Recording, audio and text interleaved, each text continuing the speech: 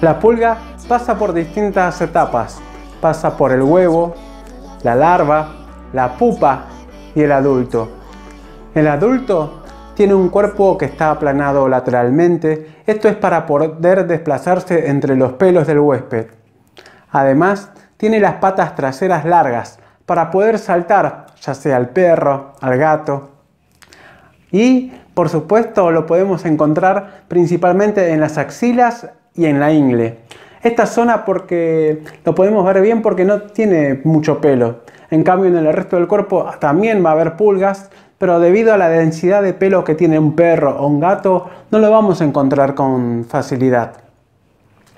Ahora, sobre el perro está la pulga macho y la pulga hembra. Y en el perro copulan. Y la hembra va a colocar huevos. A lo largo de su vida coloca entre 400 y 500 huevos. Lo puede colocar sobre el perro, pero no adherido al pelo. O baja del perro y en el medio ambiente, pone el huevo. Lo puede poner en la cama donde duerme el perro, por ejemplo.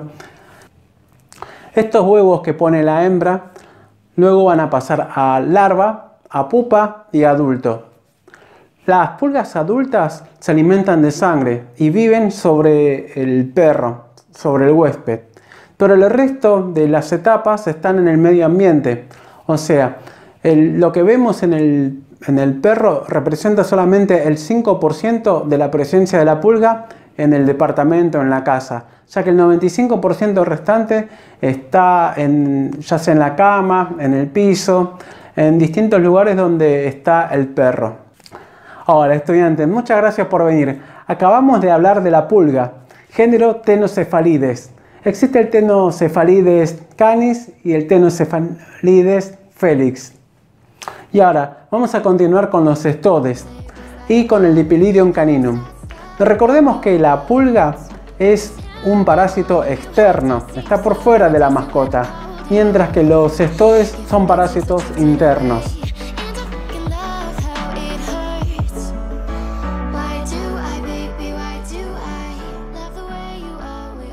El parásito necesita de un huésped, vive a expensas del huésped. En el caso del cestode necesita dos huéspedes, un huésped intermediario y un huésped que actúa como huésped definitivo. Ahora, la vida del cestode pasa por distintas etapas. Pasa por el huevo, por un estadio juvenil y por una eh, fase adulta. En el estadio juvenil podemos tener al cisticerco, al cenuro, al ideátide y al cisticercoide. El cisticerco consiste en una vesícula llena de líquido con un escólex invaginado. El cenuro consiste en una vesícula llena de líquido con varios escólices e invaginados. Y en el idátide consiste, consiste en una vesícula llena de líquido a presión, el líquido está a presión y tiene numerosos escólices invaginados y también contiene varias vesículas. Y por último, observamos al cisticercoide.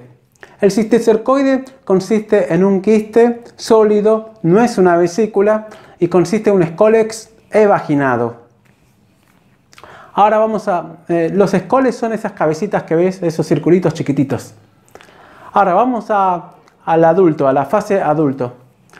El adulto consiste en una cabeza o escólex, un cuello, que es una transición entre la cabeza y el resto del cuerpo, y después el cuerpo.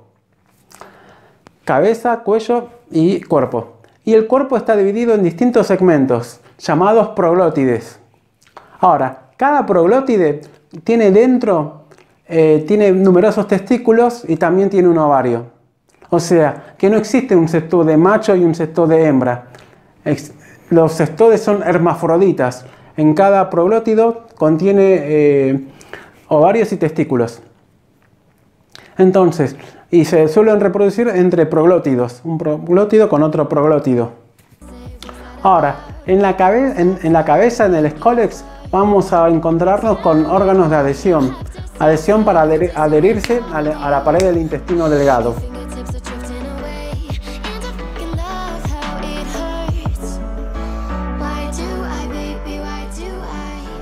El Dipilidium caninum es un cestode. Es un cestode en el que el huésped intermediario es la pulga y el huésped definitivo es el perro. Entonces, tenemos el huevo de la pulga y el huevo del, del dipilidium. Del huevo de la pulga del tenocefalides emerge la larva y la larva se va a comer al huevo del, del cestode, el huevo del cestode dipilidium. Se lo comió.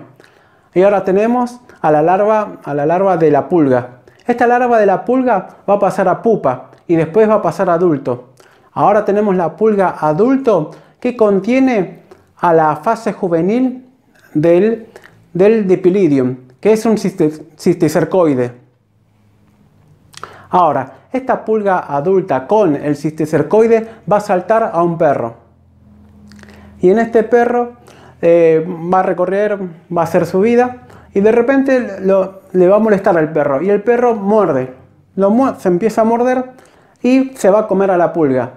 Y la pulga ingresa al perro, que es el huésped definitivo del cestode, y en el perro, en el intestino, esta forma juvenil cisticercoide va a pasar a la, a la forma adulta del dipilidium.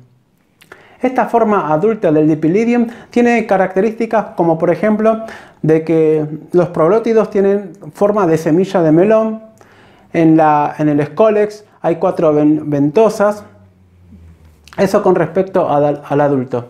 Y después en el huevo, el huevo que, va a liberar los proglótidos del dipilidium, el dipilidium libera el proglótido, llega hasta el ano y tiene forma de granos de arroz, produce una picazón, el perro se muerde el ano o si no puede arrastrar también la cola. Estos proglótidos los podemos encontrar en, en el ano alrededor del ano del perro o también en la materia fecal. Podemos encontrar estos proglótidos o eh, los ovisacos, los paquetes de huevos. No vamos a poder ver un, huevo, sino que vamos a ver paquetes de huevos a todo el microscopio. Los proglótidos sí lo podemos ver a simple vista, que son parecidos a granos de arroz. Entonces, estos huevos, estos paquetes de huevos, se ven al microscopio. Cada huevo contiene un embrión hexacanto. Se dice que es hexacanto porque tiene tres pares de ganchos. Bueno, muchas gracias por llegar hasta el final del video. Espero que te lo hayas disfrutado al Dipilidium caninum, cómo está relacionado con la pulga tenocefalides. Ahora, en el último video hablamos de algunos parásitos, ancilostoma, Dipilidium caninum. Te dejo una pregunta, dejámonos en los comentarios eh, cuál es la característica del huevo trichuris.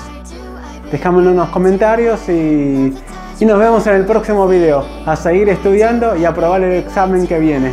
Chao.